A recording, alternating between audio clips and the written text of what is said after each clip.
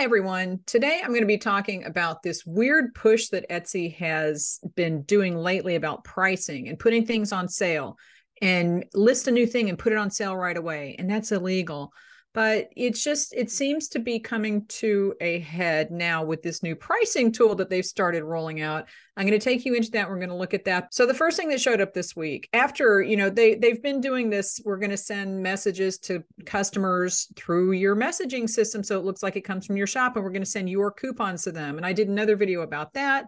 I've turned off all of my discounts because of this because i don't want etsy inundating people with unasked for messages that look like it comes from me it's irritating. So, you know, people have enough stuff to deal with without extra messages. But the thing that showed up this week for some people, now I have not seen this in my shop because I don't usually put things on sale, but I do have a discount code that goes out for people on my email list. So I would think that I would see this eventually. I haven't seen it yet.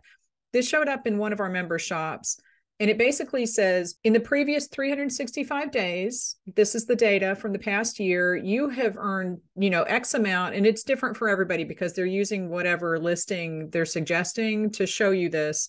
And they're basically telling you that you earned this much with a sale. So if this item was on sale in that amount of time, then that's what they're using. But then they're telling you raise your prices X amount to eh, to cover that cost. Now, honestly, if you have your prices set correctly, you've already taken that cost into account. And if you don't have your prices set correctly and you think, oh, I need to raise my prices, then you probably need to go and look at all your prices. Okay. And another thing that Etsy has done just yesterday, I saw they released this ultimate guide to pricing. And I will say that there's one piece of that article that says take all of your expenses into account. And I think that's really important. I have a pricing guide that I sell. You don't have to buy it but you do need to take all of your expenses into account. And that includes things like gas to go to the store to buy your supplies, or the cost of your insurance, which you should have, or the cost of your business licenses if you have to pay for one. Every single thing that goes into your business needs to be factored into the cost of your products. And a lot of people don't do that. They just use this stupid formula of, you know, cost of your materials times two. That's wholesale times, you know, that's a terrible formula. You'll go broke you'll be earning less than minimum wage don't do it. So basically you know if you know that that's a terrible formula all of this information is probably not going to help you. And if etsy sends you this thing that says raise your prices or list a new thing and put it on sale right away and like i said that's illegal but that is a message that etsy has been putting Clearly, the emphasis that Etsy is pushing right now is on pricing. And in the last few investor presentations, they have said we are going to be helping Etsy sellers price their products appropriately. Okay, now that's a very loaded term. The way that Etsy seems to be doing this is not based on that just take all of these things with a grain of salt. And if you look at this and say, yeah, I need to raise my prices, don't do that so quickly. You need to figure this out for yourself. I, I think that the the constant nudges and reminders that they're sending us, you have to think, why is Etsy doing this? And the reason is that they are trying to make money anything that Etsy does, it's not to help us. It's not to help us price things appropriately. It's to get us to sell more stuff so that they make more money. That's their goal as a business. And you have to look at everything that they do through that lens. And if you do that, then you'll kind of understand the motivation behind this. The motivation is that if you raise your price for these sale items, to cover your costs, you're just actually giving them more fees, right? They see something that's selling well, that's on sale they're saying, okay, if we target that listing and we tell this seller that they need to raise their prices, maybe they will, and that gets us more fees. So that's that's basically the reason that they do this. And like I said, if you're pricing things the right way to begin with, you can raise your prices if you want to, but there's really no reason to, and there's no reason to take Etsy's word for this because they don't know what goes into your products. But if you want to look at it and say maybe you do want to raise your prices, that's fine. But don't be afraid if you get something like this and think it's time to raise all my prices. No, maybe it's not. So, anyway, that's the first thing.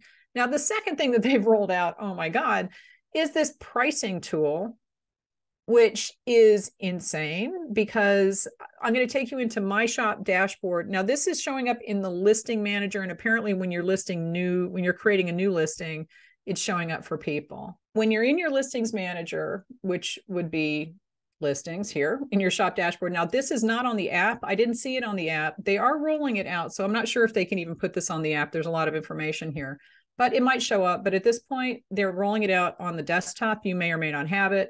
But when you go into your listings manager, this is the normal tab, but then this shows up optimize prices in beta. So that's important. They're testing this out. It could change. All right. So this says looks like some of your listings are priced lower or higher than similar items. Use these insights to help make smart pricing decisions. You know your business best and you always set your own prices. Now they have to put that in because then they can't be accused of price fixing, right? Because if they're telling people, here's the median range, then they're expecting everybody to go in here and then they could be accused of telling people what to charge for products and that's illegal. So, you know, it's true, you know your own products best, but in that case, why are they even doing this? All right, so let's click on about this tool because this is a beta tool, it can change. And this says this is a new tool that we're still testing out. So we're showing a limited selection of your items with prices that are lower or higher than the median range. This may not include every item in your shop that falls, falls outside of the median range. So they're probably going to add more things to this down the road. They're testing it out now. And then when they get feedback from people, they will roll it out to everything. And I have heard people say that when you're listing a new item, this shows up. This says we're just sharing some of what we know about how similar items are priced. You know your business best. You should always set your own prices. That's the CYA language, which is cover your butt. Consider taking into account the costs and time that go into making and selling your unique. Don't consider it. You need to do that you need to take all of your costs into account. And I would go into this ultimate guide to pricing. If you want to get my pricing guide, I'll put a link in the description. You don't have to get that, but you do need to figure out a way to incorporate all of your costs into the price of the things that you make. That's how you run a business profitably. Don't consider it don't consider taking that into account. You need to take that into account. They're saying pricing data is based on listings with a similar category, comparable materials, and similar types of buyers. The data doesn't take into account item size or show if sellers have incorporated costs of shipping, production, or marketing into their prices. So basically, and I, I will show you how this first part is BS, okay, because we're going to go and look at this in, in what they're showing compared to mine, like comparing my stuff to the data doesn't take into account any of the stuff. This is important, and this is important for pricing. So basically, they're saying, well, we're comparing similar things, but it doesn't give you all the information. So mm, it's useless. This tool is useless if they don't take all that into account. And if they're considering, if they're comparing to similar things, right? But it doesn't take into account item size or show sellers have incorporated costs of shipping, production, or marketing. Production is materials. Okay. So let's say I make bracelets and I use cheap plastic beads that cost 10 cents. And the person next to me makes bracelets also, and she uses pure emeralds. Okay. Her costs are going to be a little higher than mine. So if you're comparing my stuff to her stuff, because it's the same category, that's not a comparable thing that you, I mean, you can't compare that. So I would take this whole thing with just a huge grain, take it with a full salt shaker, not just a grain of salt. And if you do see that every single thing of your every single listing is low, then look to see what they're comparing it to because we're we are going to go into mine and I'll show you that is not really anything I'm worrying about. I looked at this yesterday and had a good laugh and then I moved on. But let's talk about this. Okay, the median is a preferred way to take an average, which can be thrown off, or is, is preferred to taking an average. Yes, average is the worst stat there is because, like they say, if there's one thing that's really high or one thing that's really low, it can throw those those numbers off. So the median is kind of the the most. So instead of adding things together and then dividing, you're just looking at the quantity in the middle. But the interesting thing on here is how they are actually comparing. And like I said, you can't you can't take these suggestions seriously. You just can't. This says for this $12 for some edible butterflies. I recently changed the price of all of my wafer paper to $12. It was $16 with free shipping per item. However, all of my competition were charging lower prices and charging for shipping. So when you're in the Etsy search results, mine looked like they were higher, my prices, but the shipping was free. And by the time you add everything up, I was actually making less money per item. Okay. So what happened then is I decided just to lower my prices and start charging for shipping again. And I have the $35 free shipping guarantee turned on. So I do get that benefit of the shipping, whatever shipping, free shipping counts in the Etsy algorithm, I'm in that. But I don't have free shipping included in the price of the item anymore. So I'm actually making more money at $12 in profit because the customer is paying for shipping and it it might be a little bit more than $16 when they're through paying for it. So Etsy doesn't know that. Etsy's not comparing me to that. And they're telling me that I know this is just ridiculous. They're telling me that the median price is $21.90 to $24.21. That makes absolutely no sense with the competitive research that I know in this category. The prices are not that high, but it could be that they're comparing me to the wrong thing. So let's look. First, if you hover over this, it tells you low. Okay. So the first thing, it looks like business cards or something. The second thing, it looks like I don't even know what this. I mean, see, they don't tell you what these things are. You have to look at the pictures to figure it out. This looks like invitations or something. I have this looks like a, a mask. This is a mat like a face mask. Um, this is a cake topper that is like a physical cake topper that you would put in the cake. And these are just little edible butterflies. So it's wafer paper that you put on butterflies and stuff. And this looks like beads. I don't even know what this is. This has no, none of these things have anything to do with this item. Okay. So let's look at the median price. Okay. Median price. This looks like actual. I don't even know what these things are. This is okay. This is going to be a fake cupcake. People make fake cupcakes and use them for display. That's a fake cupcake. That looks kind of like the same thing, or it's these little cake toppers here that they're selling. This looks like something party related. These are all cupcakes, but they're not cupcake toppers. They're it looks like they're fake cupcakes. And I know one person in my group makes fake cakes and this kind of thing, so I know this exists. I have no idea what this is, but honestly, none of these are similar items. Okay, so now let's look at the high price because I I have no again, it's fake cupcakes and it's probably more than one of them. So Etsy is looking at the keywords in this listing, which probably has cupcake topper in this listing somewhere. And they're looking at the colors, which are pastel. And they're saying these items are similar. No, they're not. Absolutely none of these are similar. So, first is that you have to take a look at what they're actually comparing you to. This is the other one that I just thought was ridiculous. Okay, this little skull mold is $8. It is literally about this big. It's teeny, teeny, tiny. That's why it says little there. Okay. They're telling me that I'm charging way below the median of $23.80 and $26.31 for the same thing. They're looking at skull molds, like molds to make a skull. These actually, if you look on the low, these look like they're about the same size, but one of them is a flat thing. It's not that low. This one is $7 this one's $8.33. Those are cameos, but they're a skeleton cameo. So that's where they're getting the word skull. None of these really make me concerned that I'm not charging enough because it's not the same thing. All right.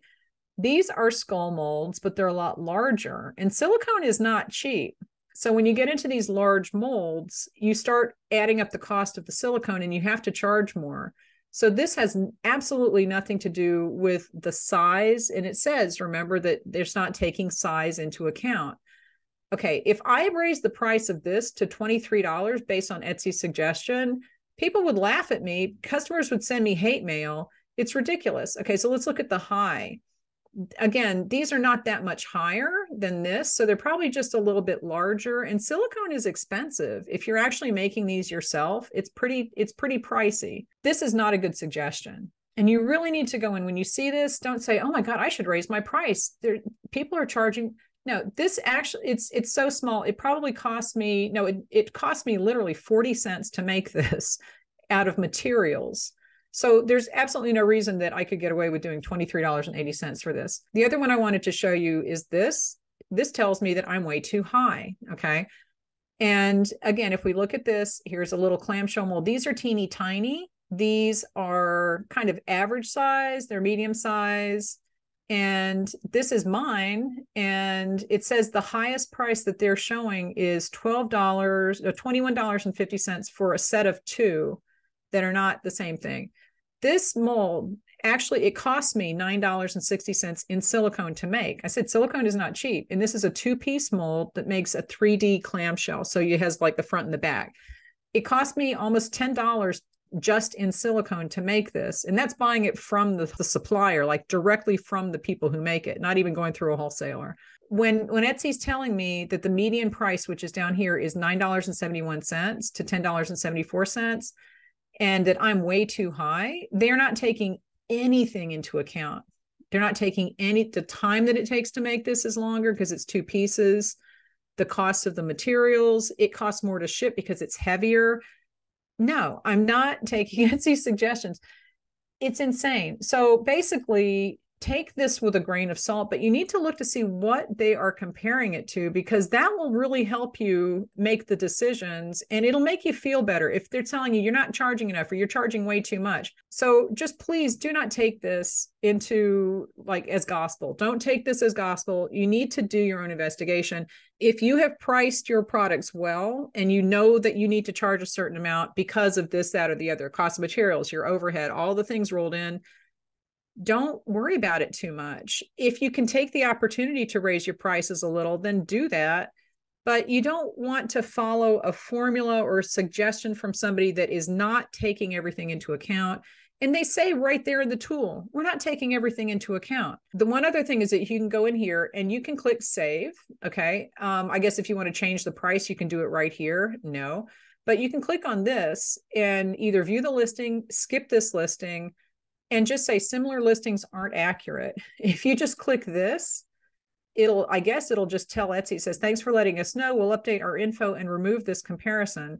I'm just going to click all of them because they're showing it's just, it's ridiculous. But, you know, it's in beta. We'll see what happens. I just want people to be very careful taking business advice from people who don't know your business. And Etsy doesn't know your business.